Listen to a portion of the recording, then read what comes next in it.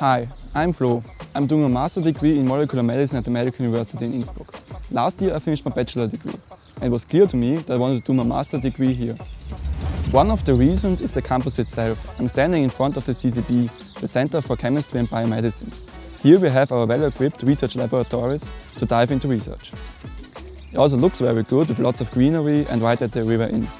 Chiara is waiting inside for us. Together we will introduce you to the Master of Molecular Medicine. Hi Chiara.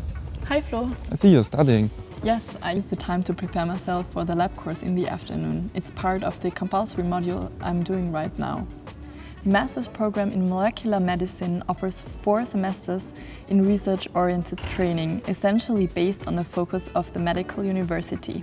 The master's program consists of four compulsory modules and also some elective modules, which are held in English. The Medical University of Innsbruck offers a very personal course of study, close contact with professors, small working groups and all of this in the most modern laboratories. Molecular scientists make a great contribution to researching diseases and that's what I want to do. And studying Innsbruck offers the best conditions for this. Similar to me, I want to do research, which means that I will complete my master's degree and afterwards I will start my PhD. And this program prepares me perfectly for this. But you also have good chances on the job market.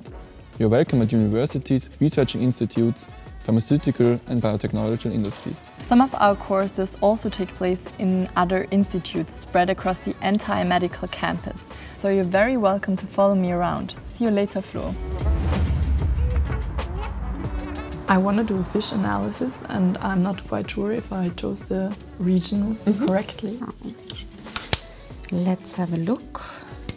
So you want to know the uh, tumor area, mm -hmm. right?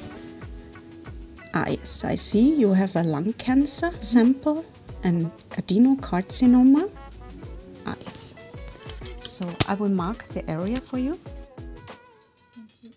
Which uh, probe will you use? For ALK. For ALK, mm -hmm. okay, perfect. So I guess you uh, will use the ZytoVision probe. Mm -hmm. If you uh, need help for your analysis, you can always come to me and then we can do it together. Thank you very much for your help. You're welcome. Professor Villunger, just a question concerning our Oncoscience Lab course. Can you explain the mode of action of the cell death inhibitor we used again? All right, yeah, I think you're referring to this BCL2 inhibitor, which actually promotes tumor cell death, and uh, it is designed to interfere with protein-protein interaction between BCL2 family members that sit at the mitochondrial membrane, and they control cell survival, cell death decisions at the mitochondrial membrane. And this compound now has actually been approved for clinical use, treat leukemia, and is heavily trialed in combination therapy regimens to treat other types of, of cancers. We hope you got a little insight in what it's like to study here in Innsbruck. And who knows, maybe we'll meet here again at the campus.